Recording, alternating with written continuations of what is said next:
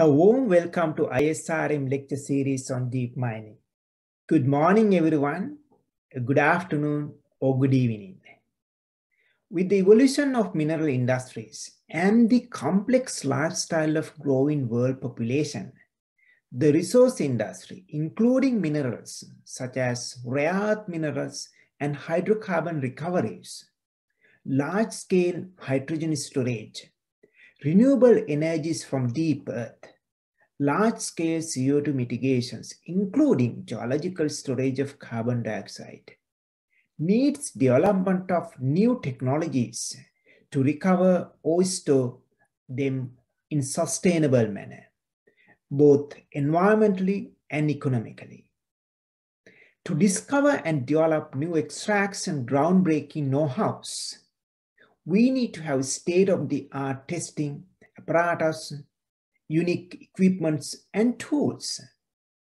Today, I want to talk about some very interesting research and development of unique testing rigs we have designed and developed in-house. In my other ISRM video lecture, I introduce a new in situ rock breaking technology called as SREMA, slow releasing material agent, which I believe it, it will transform the mining industry to sustainable industry with less energy in footprint. Let me to first give a brief introduction to myself. I'm Ranjith Pathegama, a professor in sustainable development of technologies for resource recoveries at Australia's Monash University. I'm a fellow of the Australian Academy of Technology and Engineering and editor-in-chief of Geomechanics and Geophysics of Geoenergy and Georesources, a Nature Springer journal. The journal is one of the flagship journals in energy and resource areas. I'm the founder and a director of Geomechanics for Geoenergy and Georesources, commonly known as 3G Deep Earth Laboratory. For more than two decades, as civil engineer research and practitioner, I have dedicated my academic career to pursuing two goals that are typically portrayed as diametrically opposed protecting the environment and extracting resources, both energy and minerals from the earth. As more and more humanity are coming to realize neither of these goals is negotiable we cannot continue to damage the environment at the increasingly unsustainable rates we have been for the past century or more. Climate change, species extinction, water shortage, and countless other problems are forcing us to take environmental sustainability seriously. Yet we equally cannot just give up on recovering resources from underground, given their importance to human well-being. How can these mineral and energy vital sectors be made less energy intensive and more environmentally and economically sustainable? This question is the driving force behind my career in geoengineering. The broad unifying theme behind my contributions is making better use of Earth's energy and resources, while simultaneously reducing their impact on the environment. For example, in addition to new rock breaking technology, I developed a carbon neutral, environmental friendly cement that uses up waste products from the energy and steel industries. I also use similar waste products to create high yield environmental friendly fertilizer for the agricultural sector. With that small introduction, now let me to go into the main lecture outline. This lecture is structured as follows. Before moving to the main topic, I thought to provide you a brief overview of the necessity of experimental infrastructure for deep mining research and the multi-scale approach we adopt in the 3G Deep laboratory to give you a bit of context.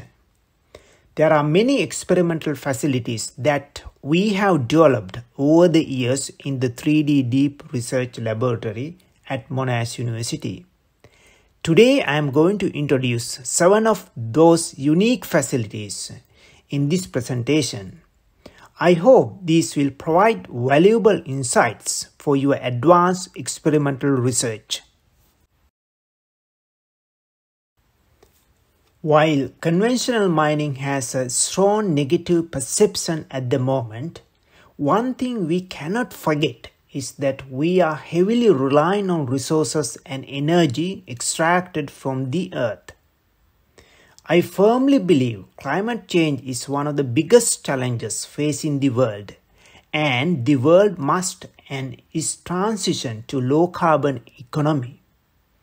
The correct use of the subsurface has great potential to aid the transition to low carbon energy. At the 3G Deep Research Group at Monash University, Australia, we are exploring critical aspects of resource recovery promoting technological innovations for environmental protection and safe and practical resource recovery from the deep earth.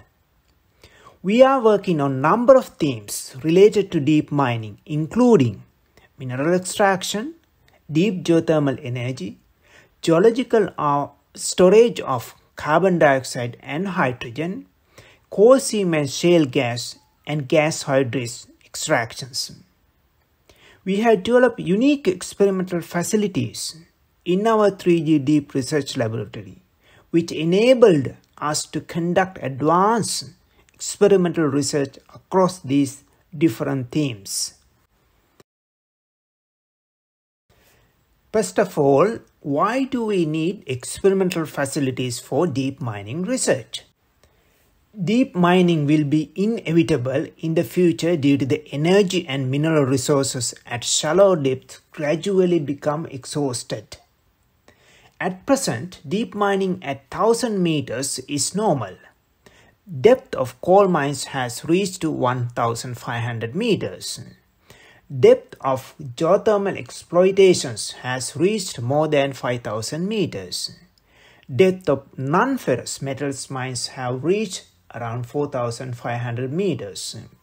And the depth of oil and gas exploitations has reached around 7,500 meters. Underground mining continues to progress to greater depth to sustain the supply for the growing demand. This means we require to characterize deep rock mass which is subjected to high in-situ stresses, high temperatures, and high fluid pressures since existing fundamental theories might no longer be valid. Considering this necessity over the last two decades, tremendous development has occurred in experimental laboratory facilities around the world. Here at Monash University, Australia, we have developed state-of-the-art research facilities to conduct advanced deep mining research. Our 3G Deep Research Laboratory employs comprehensive four-stage modeling regimes to capture the whole process from the micro scale to the reservoir scale as you can see in this image. There's a capability at four scaling phases. Micro scale 3 micron to 20 millimeter, meso scale 20 to 100 millimeter, macro scale 100 to 1000 millimeter and reservoir scale over 1000 meters. This approach enables us to understand micro-scale observation, for example, available for areas, rock fragmentations, tortuosity in fluid flow through pore structures and leaching, and apply fundamental physics in reservoir scale. Studying the relations among these four scales assist in capturing the essential geological characteristics needed for a comprehensive reservoir scale model in the real field conditions. This slide provides a quick overview of how we have conducted experiments over cross scales and integrated these approaches to understand the field scale reservoir conditions. Our unique large-scale true triaxial stress reactor, large-scale triaxial testing rig, advanced core flooding and shearing devices represent the macro-scale facilities. Meso-scale equipment at 3G Deep Laboratory includes custom-made high-pressure, high-temperature advanced rigs Micro-scale equipment includes an X-ray microscopy facility for 3D contrast imaging, computerized tomography CT scanning, scanning electron microscopy SEM and XRD. Among these numerous facilities that we have developed, today I am going to share the most exciting ones in my view, which will provide you with good understanding of advanced experimental research that can be related to geomechanics and other engineering applications. First, I would like to present one of our unique super deep stress reactor for mineral and energy recoveries. To the best of my knowledge, this is the world's largest triaxial stress reactor capable of testing cubic specimens up to 750 mm in length. In the next few slides, I will take you through the highlights, operational procedures, and potential applications of the setup. This super deep stress reactor for mineral and energy recoveries is in a class in itself, measuring over 3.5 meter wide and 5 meter in height. It weighs over 60 tons. The setup was designed and developed at Monash University over a number of years. One of the local companies in Australia fabricated it. The stress reactor is capable of exerting a compressive stresses of over 270 MPa for the smallest specimen size and can simulate high temperature conditions of up to 400 degrees C. The setup is also capable of true triaxial and isotropic loadings. The high rigidity of the stress reactors allows post-failure stress measurement of specimen being tested. Now let us have a look at, at the internal details of the setup, which makes laboratory simulation of these extreme geological conditions possible. First, is the bulk of the setup, which is the reaction chamber. As shown in the figure, the setup consists of three hydraulic loading ramps in three reaction plates. The large forces exerted are measured in each reaction plate by five high-capacity load cells, 25,000 kilonewton in total in each axis. As you can see, the reaction chamber itself is quite large and we can change the setup loadings or reaction plates to accommodate three sample sizes 350, 500 and 750 millimeters. We can go for even smaller sizes to accommodate very large stress over 400 MPa.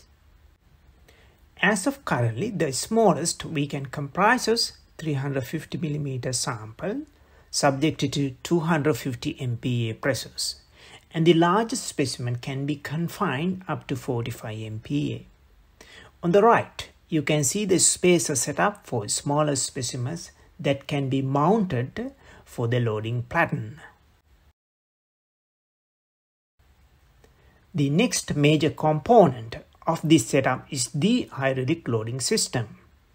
The hydraulic circuit consists of a quad pump, one of each loading ram and one for hydraulic oil recirculations. The load on the specimen is controlled by solenoid actuators. A schematic of the hydraulic circuit is shown to the right. The high power heating system is another unique component of this setup. We have connected each loading reaction plates to two heating elements and the temperature is controlled with thermocouple connected to each platen. The figure on the right shows the heating element and the thermocouple connections of the top loading platen. The heating elements in the setup are capable of increasing the temperature in the reaction chamber to 400 degrees C. Now let's move to the brains of the stress reactor, which is the integrated control unit. The loading and heating system is controlled using bespoke control software. The control unit allows independent control of the loading ramps to adjust specimen positions within the reaction chamber. As you can see in the figure to the right, the user can apply true triaxial or isotropic loading to a specimen. We can also select loading rates in each axis, heating and the specimen size in the setup. Now, having an idea of the different components of the stress reactor, let's look at the specimen preparations and loading procedures. For commissioning the setup, we have produced a large 750 mm cubic mold and casted concrete blocks for testing. These blocks are placed in the reaction chamber using 12-ton gantry crane sitting above the test setup. We move the blocks by drilling anchor bolts into the specimen to allow hosting. As indicated in the bottom left figure, the reaction plates positions are fixed and the block is placed in contact with the three reaction plates. Then the top cap is placed and locked in position using the steel dowels. We manually adjust the position of the reaction plates before setting the specimen. Upon completion of the setup, we conducted an initial experiment at our 3G Deep Lab at Monash University. The tested specimen was a grade 35 750 mm concrete block and both temperature and load applications were done simultaneously. We heated the specimen up to temperature of 250 degrees C and applied initial biaxial stress of 35 MPa in the horizontal directions followed by additional vertical stress of 35 MPa. Here you can see the temperatures of the heating elements on the left and the stresses applied on the right. In this figure, C1 and C2 corresponds to the x and y directions and C6 is the vertical direction. In this slide, you can see the control system and fluid injection pump system for the true triaxial setup. There are three fluid pumps that can inject, for example, carbon dioxide, nitrogen, water at high pressures and high temperatures. The control system displays the fluid pressures and allow the control of fluid injections into the specimen. And it is also possible to obtain acoustic emissions data from the system using the acoustic emissions monitors. So, having developed a Mammoth super deep stress reactor, what applications do we have for the setup? First, the large scale of the setup allows us to simulate high temperature and high pressure in situ stress conditions in the macro scale. This ability gives us the unique opportunity to simulate various complex geological conditions in the laboratory environments, including stress-strain responses of anisotropic of geomaterials, including shale formations for oil and gas extractions. Evaluation of well integrity for oil, gas, and in situ mineral recoveries. Deep earth simulation of host rock preconditioning using different technologies such as non-explosive demolition agents that we have developed and we call them as SREMA, slow releasing material agent. In situ leaching, simulation of hot dry rocks for enhanced geothermal system, rare earth minerals extraction and fault simulation, spatial distribution and proper embedment under high in situ stress conditions, and hydrofracturing. The control test we can perform using this stress reactor allow us to closely monitor the mechanical response of rock matrix in deep geological conditions on large scale which we were previously not possible. We are currently experimenting with large scale rock fragmentation technologies with this setup with our newly developed fracturing compound, particularly simulating fracturing with multiple boreholes. Next, I am moving to another very unique laboratory facility, our large core flooding apparatus that we are extensively utilizing for a number of applications. This advanced facility can be used in a number of applications to investigate and develop technologies related to carbon dioxide sequestration in deep geological formations, in situ leaching for recovery of metals, shale gas and coal seam gas explorations, geological storage of hydrogen, wellbore stability and extraction of hydrocarbons. We widely use this facility to monitor the flow, diffusion and permeability characteristics associated with the different types of fluids and the mechanical responses of the reservoir in the applications listed here. Next, let's have a look at, at the key features of the advanced large core flooding apparatus. This apparatus consists of four main elements. High pressure cell, hydraulic loading system, fluid injection system, high precision measuring and data logging system. The maximum working temperature of the facility is currently at 100 degrees C and the cell is covered with a thermal blanket to achieve the operating temperature. This temperature can be modified to even higher temperatures of up to 200 degrees C. We have installed four pressure transducers along the cell at 350, 600, 850 millimeters and at the downstream end to observe the pressure development profile along the sample. Those pressure transducers are connected to capillary tubes to facilitate the installation and removal. We have placed a custom designed porous sealing bunk between the sample and injection line to hold the sample and ensure an evenly distributed fluid flow. The hydraulic loading system can provide up to 100 ton axial load through the loading ramp, on which a linear variable differential transducer LVDT is attached to measure the movement of the loading ramp. We can use the reading from the strain gauges to calculate the sample volume variations during the test. We have used three-phase motor and pneumatic pump to provide a proper load to the sample in the loading system. The high-pressure fluid injection system is controlled by a Teledyne ISCO 260D syringe pressure pump with a maximum pressure supply of 50 MPa and the fluid plumbing lines are all compatible with different type of fluids including carbon dioxide.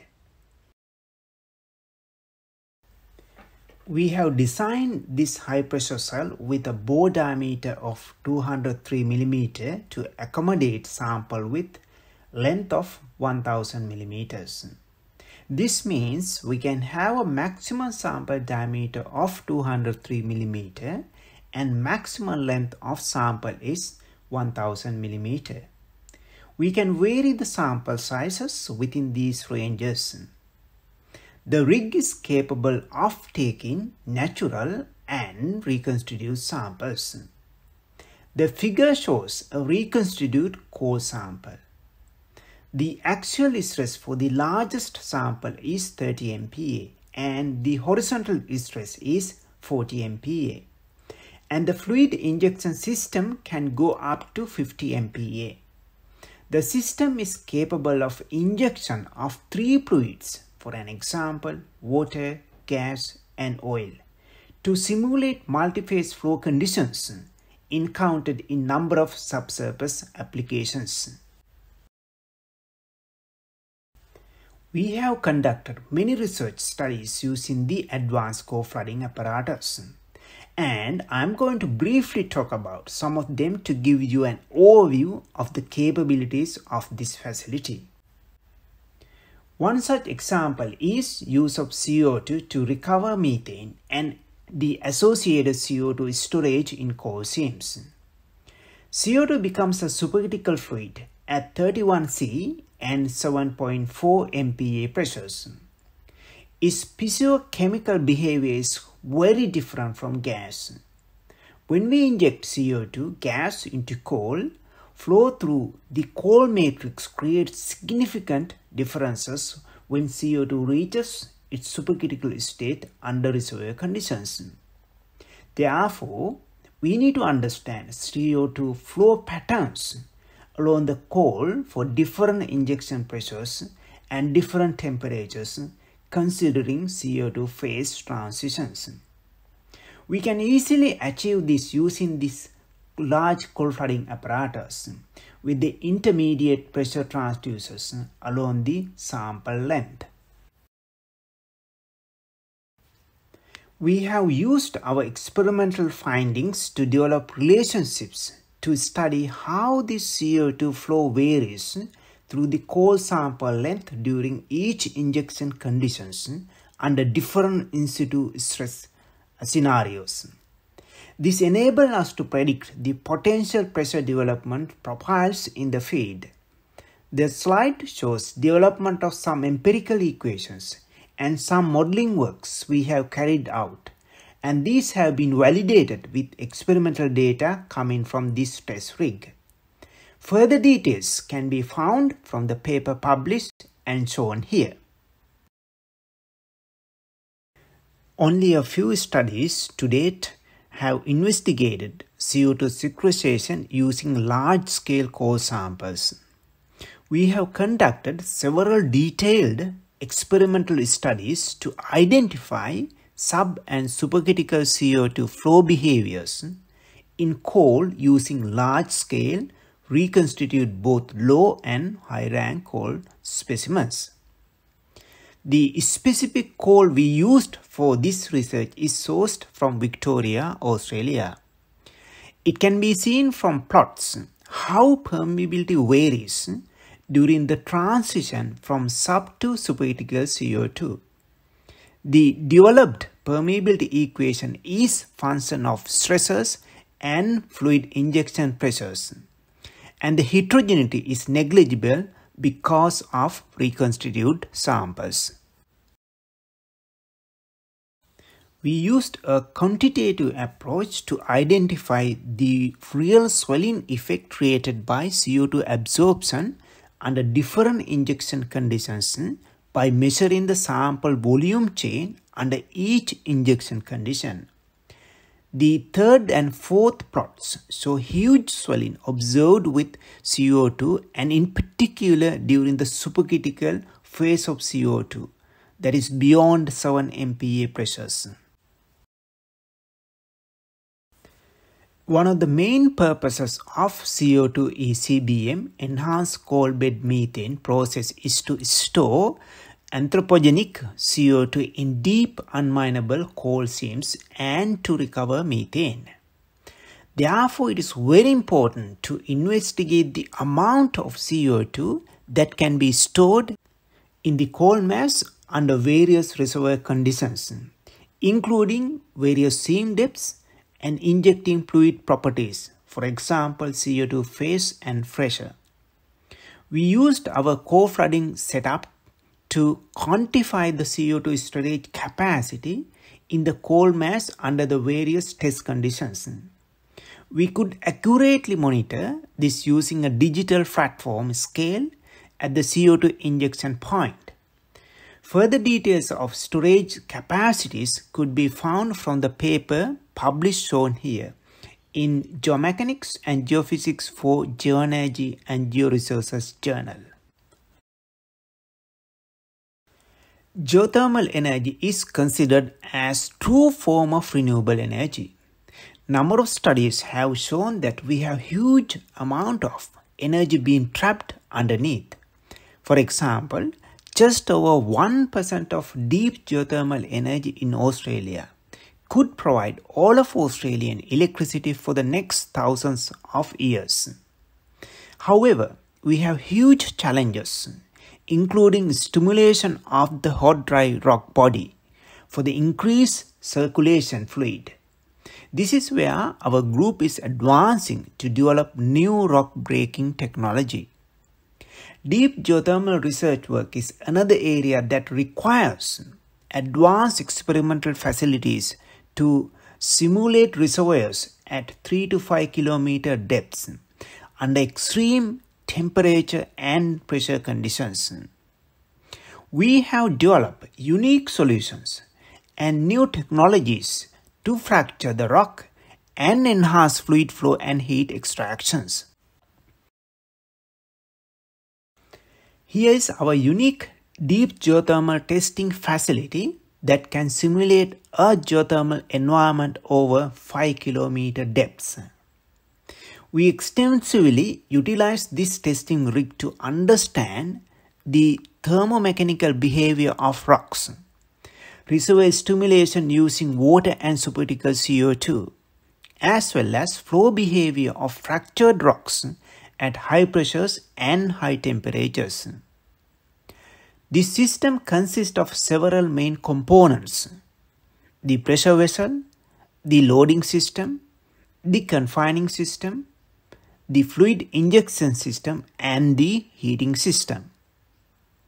We have used three high precision syringe pumps in this apparatus for fluid injection, applying confinement and axial loading as you can see here. The directional pump allow us for coarser movement of the piston of the hydraulic cylinder.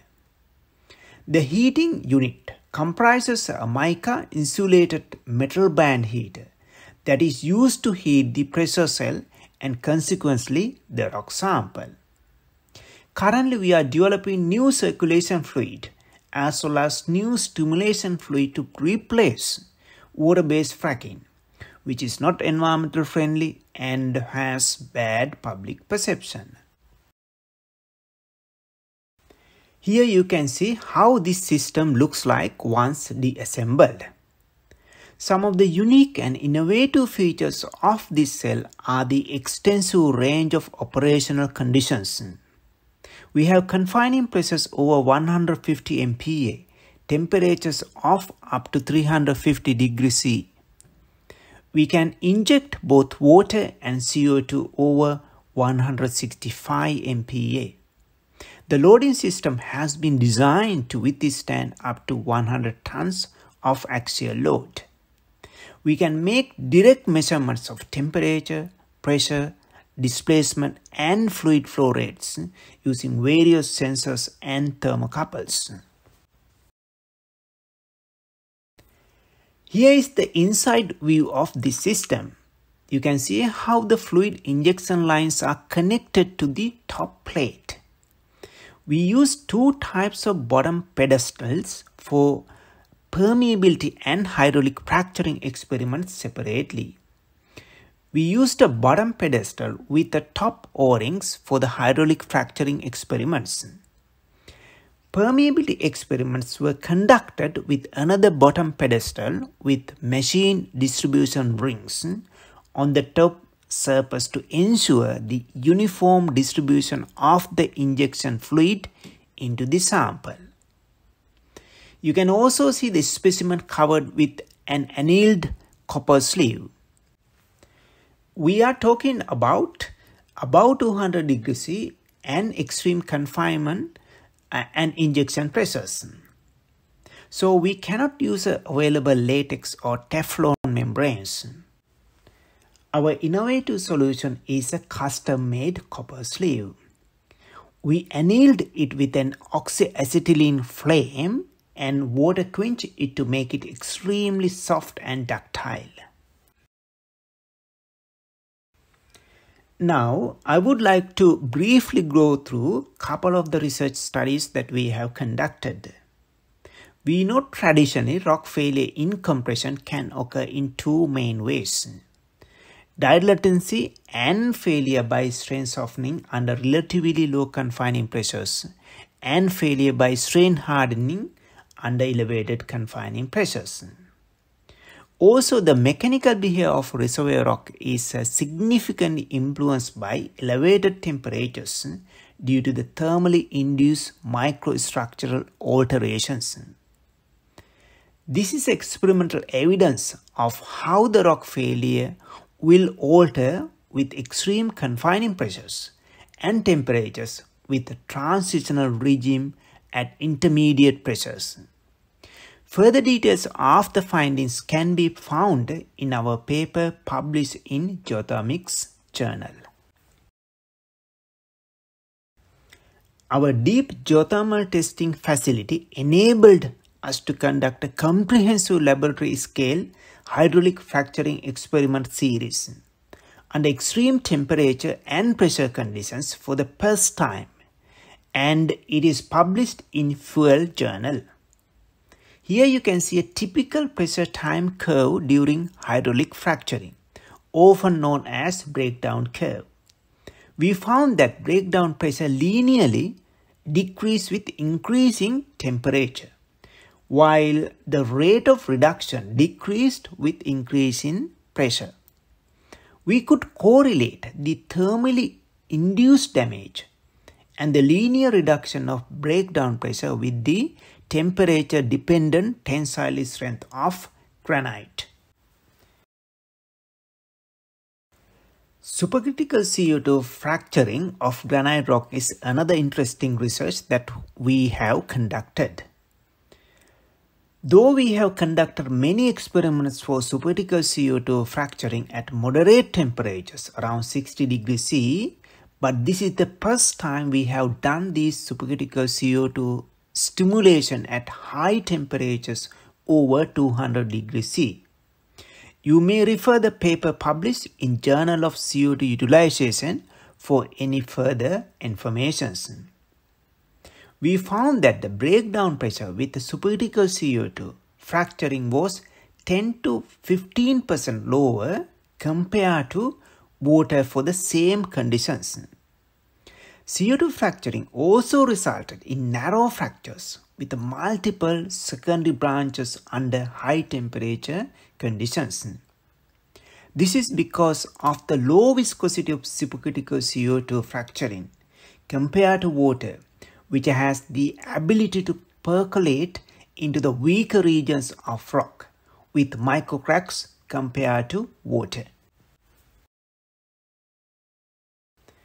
One of our main objectives is to develop new fluid types for stimulation or fracking of the reservoir rocks to replace water-based fracking, which is being banned or under moratorium at many places around the world. With this in mind, I'm going to introduce a unique laboratory scale hydraulic fracturing apparatus that we specifically designed for fracking using foam-based fluids.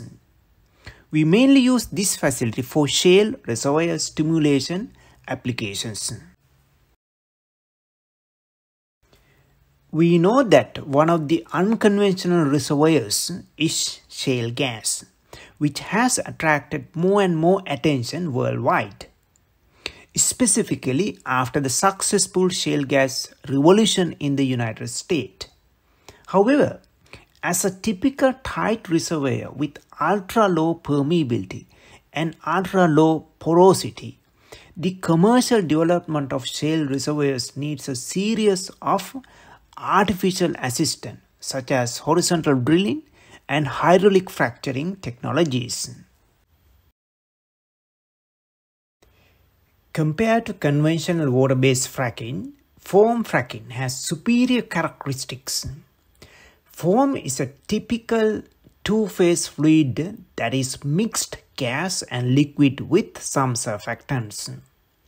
And the volume fraction of gas inside the foam is foam quality. The gas content in foam can vary from 60 to 90% or even higher. Considering its subsurface applications, foam greatly reduces the amount of water consumption. Also, the viscosity of foam is much higher, ensuring a better proppant carrying capacity as shown in the left picture. Here you can see the different components of this experimental facility. It has several main features. Foam generation component consists of gas liquid injection lines and mixing device. Vivin cell uh, which enables visualization of generated foam. Capillary tube part for viscosity measurement and triaxial system that enables to apply confining pressures of up to 70 MPa, axial load up to 250 kilonewton. We can inject water, gas, foam up to 50 MPa injection pressures in the system under temperature up to 100 degrees C. Some research findings using this unique rig has been published in Engineering Fracture Mechanics Journal. Next, let's briefly look at few applications of this newly developed fracturing test setup. Here you can see the foam stability test results of foam generated with 0.5% alpha olefin sulfonate surfactant. We have generated foams with 50%, 60%, 70%, 80%, and 90% foam quality. As expected, we observe that half-lifetime increases with foam quality. Further details of the apparatus and the detailed results can be found from the PhD thesis done by Dr. Ayal Wanniarachchi given in the slide. Here you can see selected test results of 75% quality nitrogen-based foam with 0.5% alpha olefin sulfonate surfactant, published in Engineering Fracture Mechanics Journal. We found that compared with water, the breakdown pressure of foam is about 30% higher. This is because energy release in foam is 11 times higher compared to water under these test conditions. This higher energy release is favorable for microfracture development. Due to the high compressibility, foams take a longer time to achieve the breakdown pressure compared to water. However, water consumption is three times lower in foams compared to water fracturing. Next, we critically evaluate the generated fracture characteristics using micro-CT scanning. As shown in this slides, uh, we found that both fluids can induce radial fractures. For water fractured sample, the fracture is only part of the specimen. But for foam, the fracture is throughout the specimen. We also found that foam-based fracturing contributes a complex twisted fracture with greater surface area. The next experimental facility that I am going to share today is the large-scale constant normal stiffness shearing testing facility. This can be used for a number of applications, including deep pile foundation, rock slope stability, fault simulation triggered by earthquakes and proppant crushing and embedment in hydrofracking.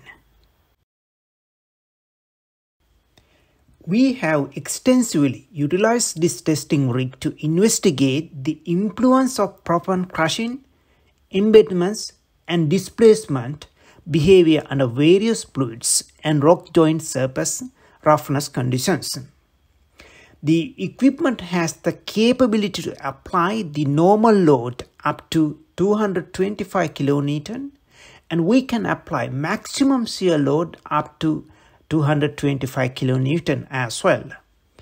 And the maximum normal displacement is 84 millimeter and the maximum shear displacement is 125 millimeter. And in this setup, we can very large samples of up to 600 millimeter long, 200 millimeter wide, and 75 millimeter deep.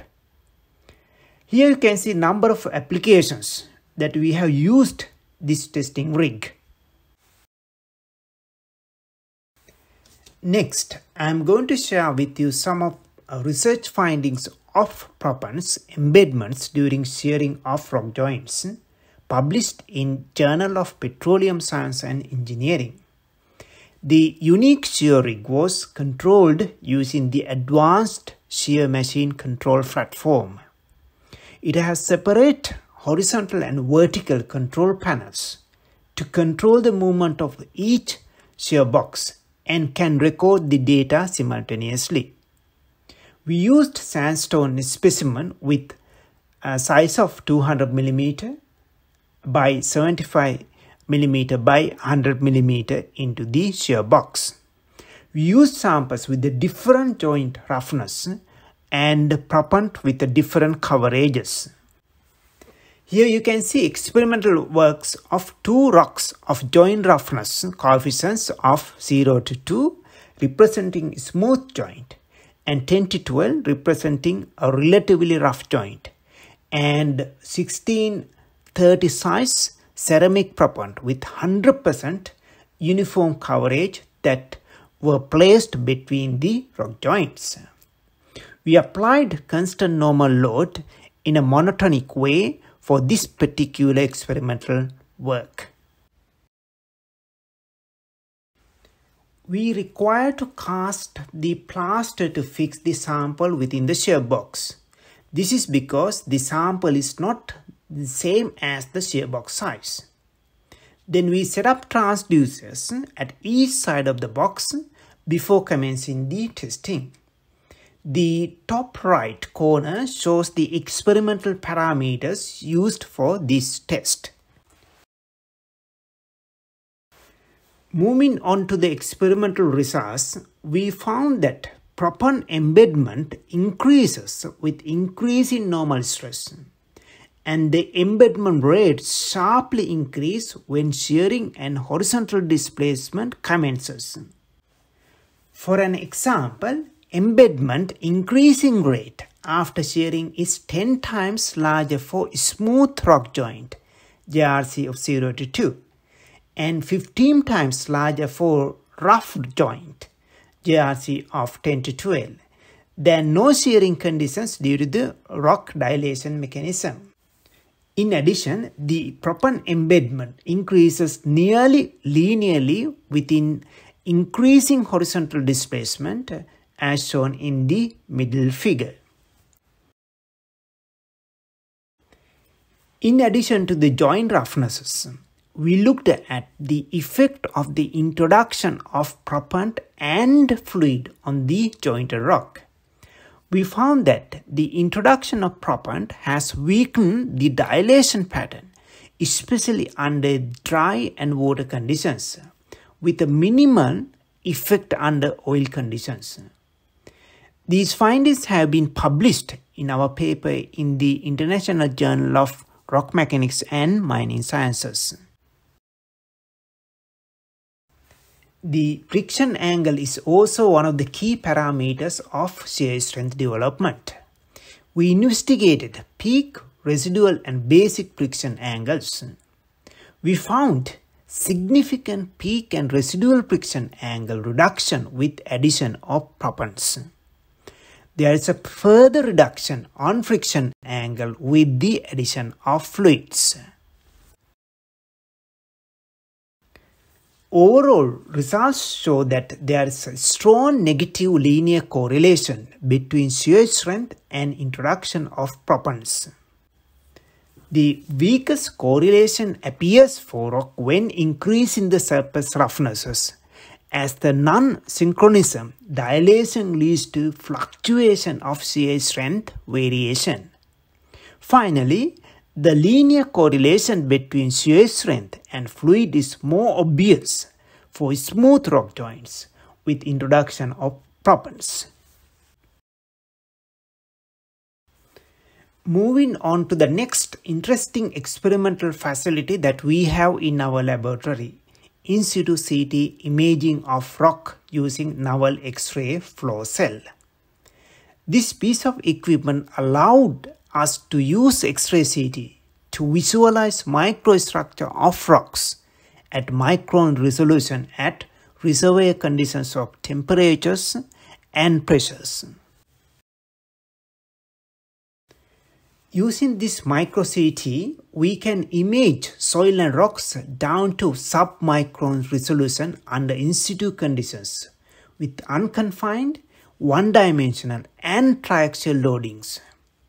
Some of the key features of the CT are given top right side, including high resolutions of 0.7 microns. Here you can see the details of X-ray high pressure triaxial flow cell. The body of the triaxial cell is composed of aluminium and compatible with X-ray CT scanning. This cell allows pore-scale imaging of fluid flow in porous rocks using X-ray microtomography combined with core flooding experiments. We can apply axial and confining stresses separately up to 20 MPa and inject water or gas into rocks for uh, core flooding experiments.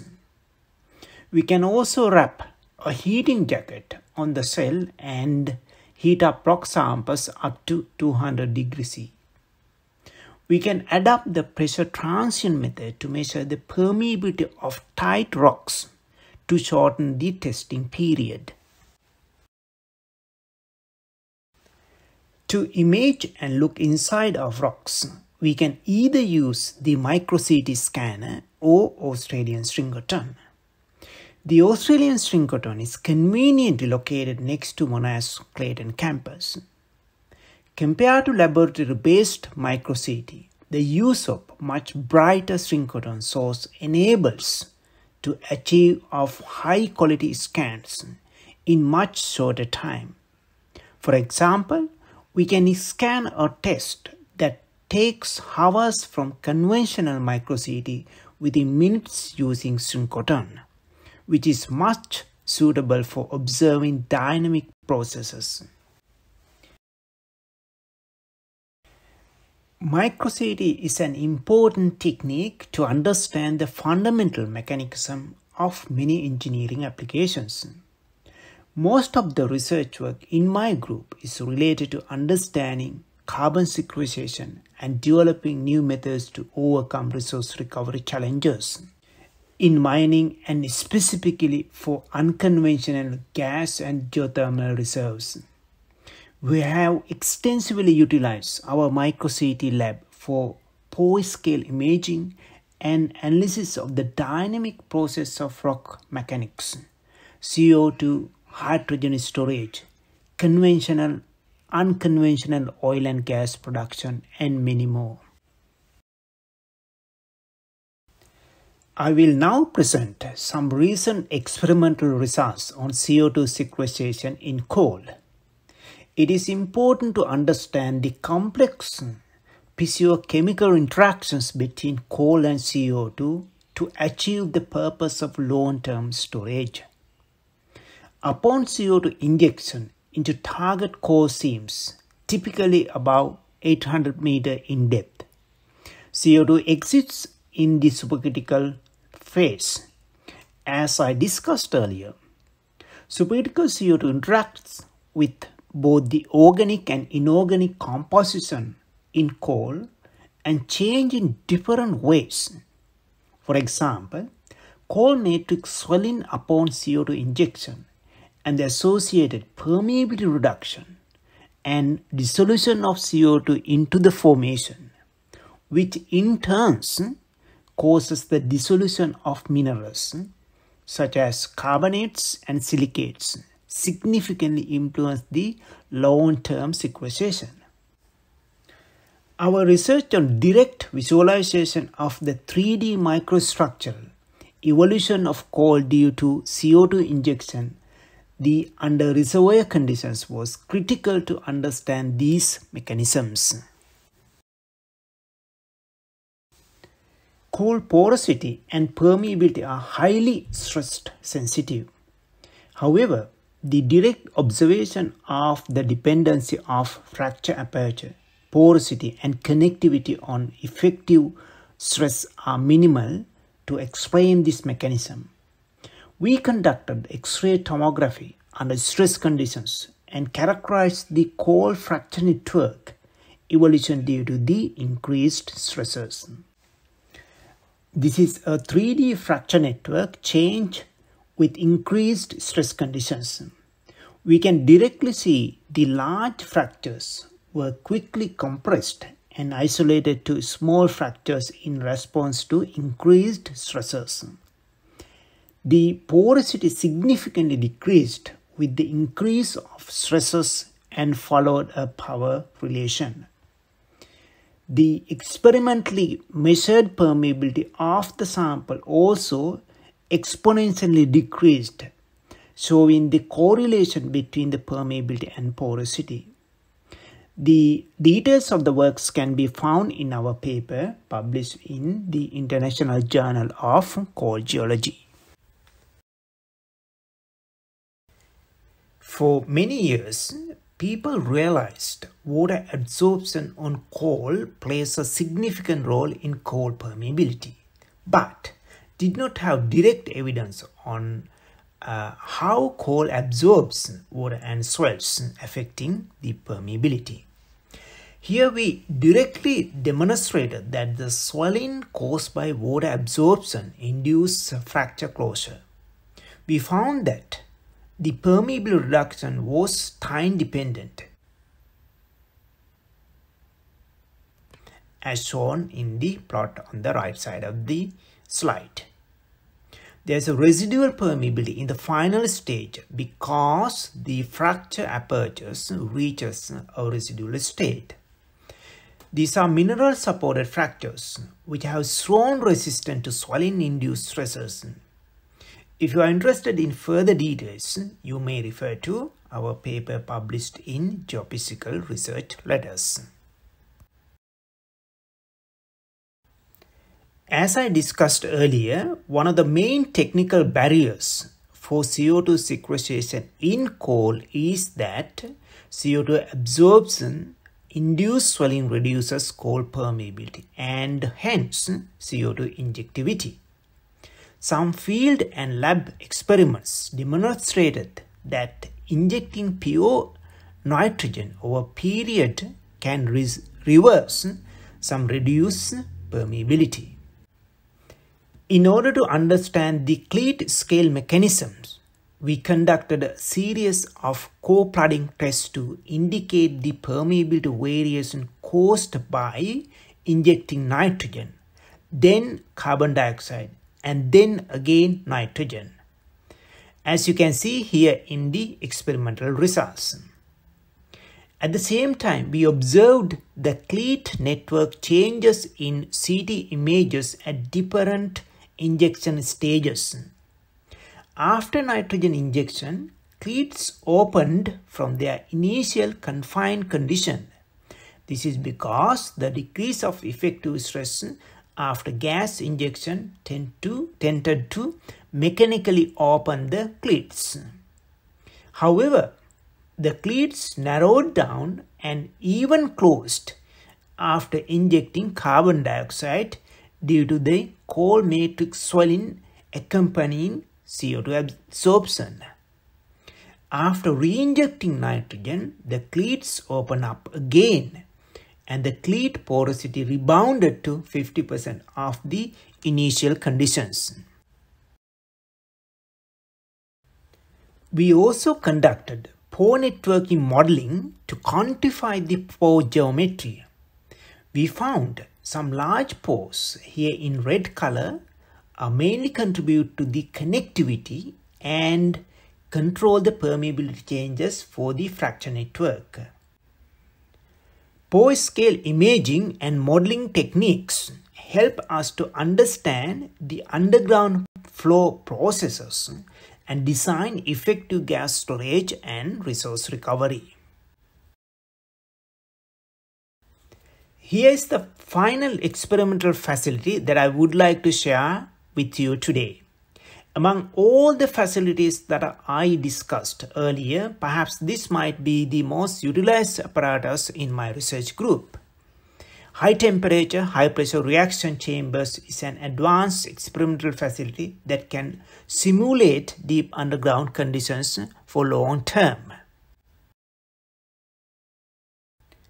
Some of the unique and innovative features of this setup extensive range of operational conditions. We have confining pressures up to 12 MPa, temperatures of up to 100 degrees C for very long time reaction. For an example, for few hours to few years. We can use different gases for injection, for example, carbon dioxide, nitrogen, methane, or to use other type, type of liquid having both high pH and low pH, including lixiviants used in in situ mineral leaching. The stirring motor and the rotating shaft help us to enhance the reaction rate by mixing the sample with the pressurized gas or liquid. We can make direct measurements of temperature, pressures using thermocouples and pressure transducers. Also samples are taken in time intervals for chemical, mechanical and image analysis. This experimental facility is versatile. When there is a necessity for long-term saturation or reaction under high pressure and high temperature conditions, my group often utilize this facility. So far, we have utilized this facility for different research themes such as carbon sequestration, soil carbon sequestration, saline aquifer simulation, mineral reactions, in situ leaching, as well as rock fluid interactions under deep geological conditions. We often couple with this facility with the other advanced analytical techniques such as electron microscopy, X-ray diffraction, CT scanning, chemical analysis techniques such as inductive coupled plasma spectroscopy, technologies depending on the application. Next, I would like to briefly go through some of the research studies that we have conducted we can store the carbon dioxide into fly ash and use it in the agricultural industry as soil amendments. So though it is surprising, it is possible. The study shows that the growth of crops is higher after the soil is amended with fly ash that stored with 5% of CO2 compared to uh, control situations. We also simulated the saline reservoir condition using these reaction chambers to analyze the well cement behaviors. Here you can see the mineralogical and microstructural uh, changes in carbonated class G cement. We could witness different reacted zones with distinct physical characteristics on the microstructural images. These findings have been published in the Journal of Cement and Concrete Composites. We also evaluate the CO2 sequestration into steel slag. It would reduce the demand for commercial CO2 sequestration and significantly reduce the required energy and cost.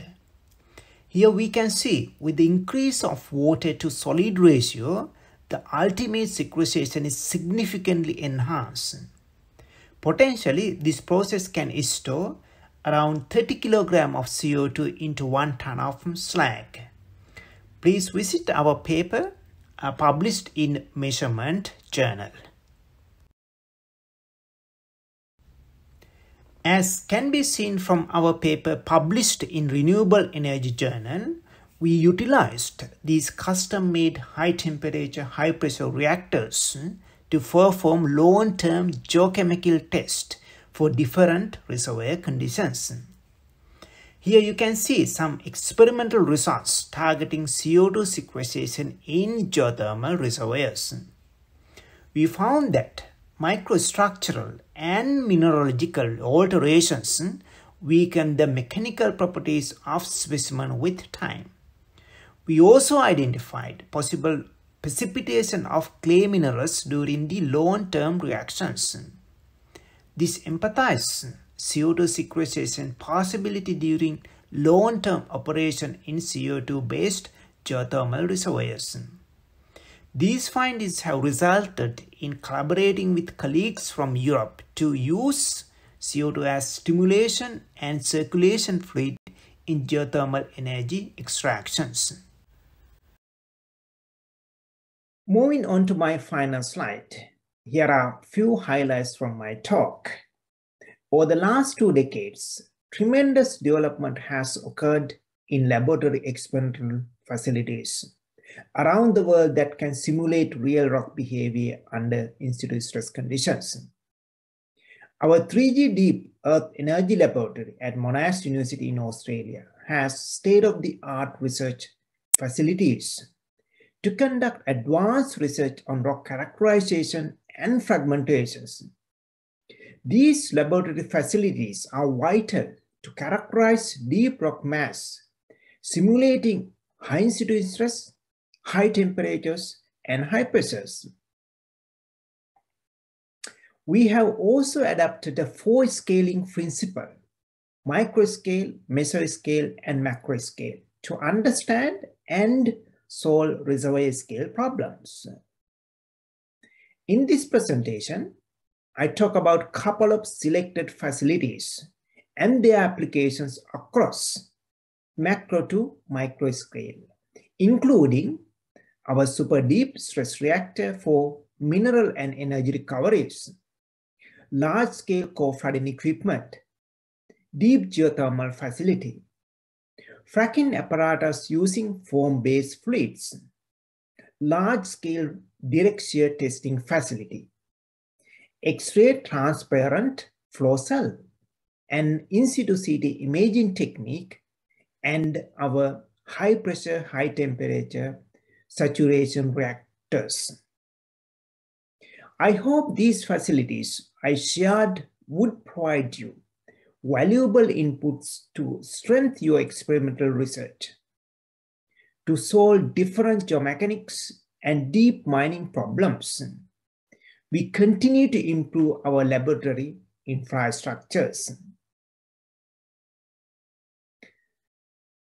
If you are interested in collaborating with us and supporting our research at 3G Deep Research Group at Monash University, you can reach out to me I'm eagerly looking for innovative ways, particularly thinking outside of the box solution to find sustainable solution for resource recovery from the earth and contributing to UN sustainability development goals and to achieve net zero emissions.